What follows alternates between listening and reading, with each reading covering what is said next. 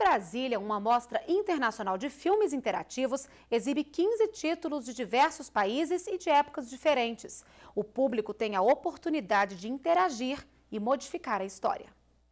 No cinema é assim, cada um tem seu papel. O pipoqueiro, a moça da bilheteria, o diretor do filme que vai passar na telona. E no escuro da sala de exibição, o espectador cada um com sua preferência. A gente vem para rir um pouquinho, para desestressar. Eu gosto de ação, né? Mas hoje, por trazer a filha, a gente vai ver o desenho.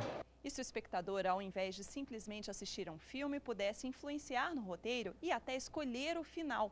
É exatamente o que acontece no cinema interativo. Por meio de um controle remoto, a plateia escolhe o rumo que o filme vai tomar. O resultado escolhido pela maioria vai ao ar em 5 segundos. Cria um suspense, né?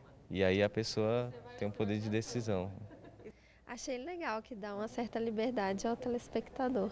Essa sessão de cinema faz parte da Mostra Internacional de Filmes Interativa que acontece em Brasília até o dia 4 de dezembro. Serão exibidos 15 filmes de sete países. Um deles tem até 11 finais diferentes. A gente deixa o público interagir até um certo ponto também, porque você controla a narrativa para ser um filme interessante, independente de qual opção a pessoa tomar, né?